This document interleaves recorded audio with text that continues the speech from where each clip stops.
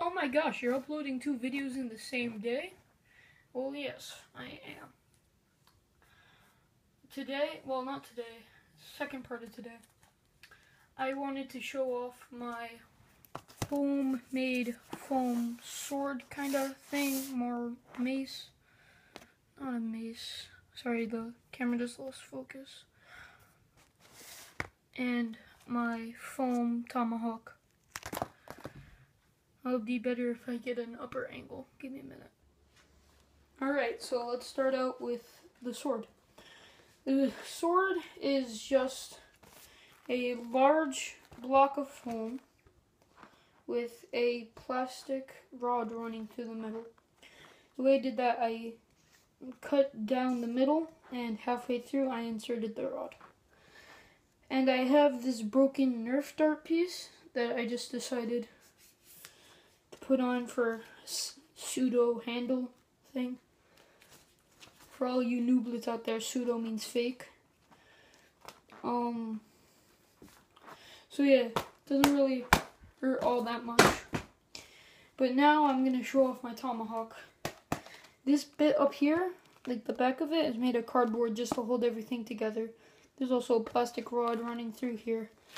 Well, I have a foam handle covered in duct tape along with that thing down there covered in duct tape, the sword.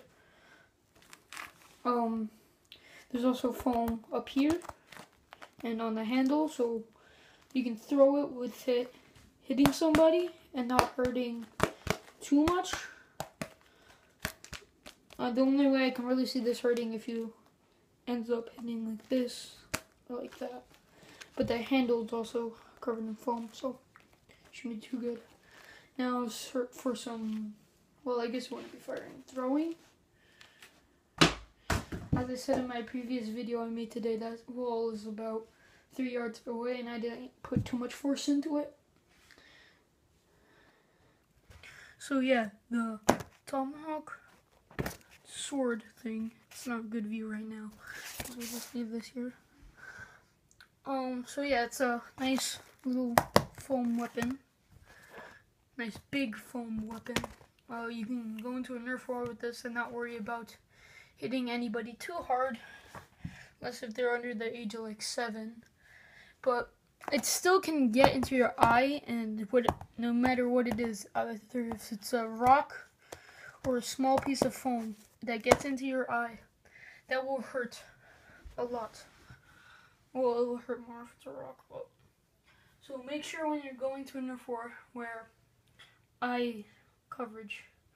I have glasses, I guess, but it's fine. So yeah, wear eye protection when you Nerf kids. Um, one thing that I would run the Tomahawk with is my Sludgefire. Due to its slow reload time, I need something to back me up in this situation.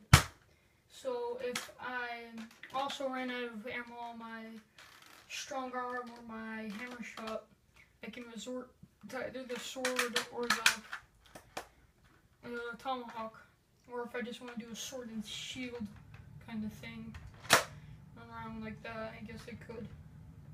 So yeah, uh, tomahawk and sword. Um, made of foam, really nice. We ran out of duct tape like there. They use a lot of duct tape if you can't tell. So yeah, see you all in the next video. See you later, chaps.